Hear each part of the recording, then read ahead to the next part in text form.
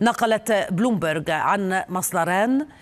أو عن مصدر أن إيران تحاول نقل آلاف المقاتلين للمناطق الحدودية مع إسرائيل في لبنان وسوريا. مصادر الوكالة الأمريكية أكدت نقل إيران بالفعل لآلاف المقاتلين من العراق لسوريا خلال الشهرين الماضيين. كما أن طهران تستعد أيضا لتعزيز قوة الردع عبر نقل المقاتلين إلى سوريا ولبنان وإن سوريا والعراق أصبحت قنوات رئيسية لنقل موارد حزب الله.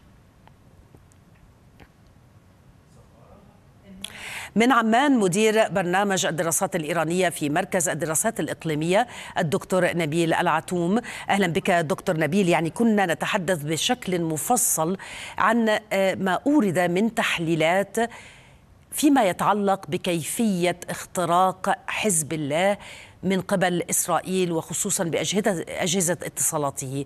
اليوم مع هكذا تحليلات إلى أي مدى خروج حزب الله ودخوله إلى سوريا وأيضا تضريب عناصر عناصر للحوثيين في اليمن وما إلى ذلك أدى إلى ما هو عليه الآن من هذا الانكشاف الكبير.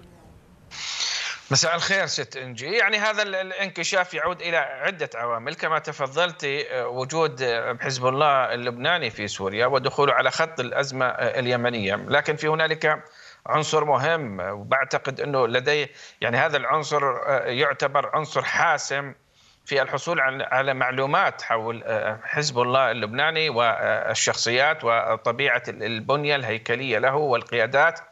من خلال عملية الاختراق غير المسبوقة أيضا لجهاز المخابرات الإسرائيلي لأجهزة الأمن والمخابرات الإيرانية م. وأنت تذكرين أنه في فترة من الفترات خرج علينا الرئيس السابق أحمد نجاد وقال أنه حتى مسؤول مكافحة التجسس في وزارة المخابرات الإيرانية كان يعمل لصالح الموساد الإسرائيلي صحيح. وبالتالي عملية اختراق أجهزة المخابرات الإيرانية وتجنيد عملاء من الصف الأول هناك هو اللي سمح بالحصول على معلومات ممكن أن تكون إنجي أكثر حساسية وأكثر قيمة خصوصا إنه عملية التواصل ما بين قيادات حزب الله واستخبارات الحرس الثوري من ناحية ووزارات المخابرات الإيرانية هي عالية جدا وربما أكبر من عملية التواصل مع المخابرات السورية أو غيرها من أجهزة المخابرات حتى العراقية.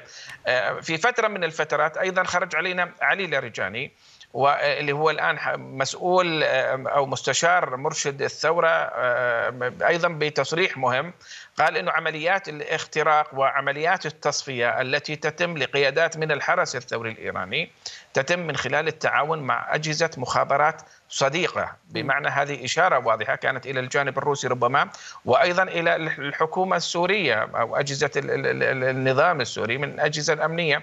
وهذا بدلل في نهاية المطاف على انه إسرائيل كانت بارعة في هذا الأمر بالإضافة إلى توظيف الذكاء الاصطناعي عمليات الاختراق الاتصالات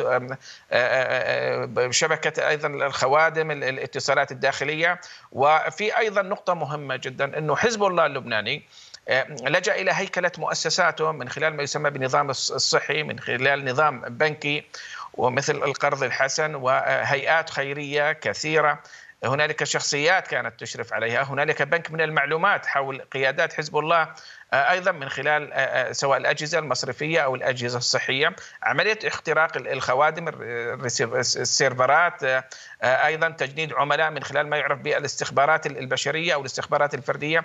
هو سهل هذه المهمة. لكن في نهاية المطاف أنا بعتقد إنجي إنه حجم هذا الاختراق كان رسالة واضحة إلى الجانب الإيراني. وشفت أنت يعني عندما تم استهداف حسن نصر الله وذكرت وكالة رويترز أنه تم نقل خامنئي إلى مكان آمن. صحيح. وهذا بيعطينا مؤشر أيضا مهم جدا على أنه حتى القيادات الإيرانية بما فيهم المرشد باتت ليست بمأمن وبالتالي إيران باتت غير قادرة على الدفاع عن نفسها.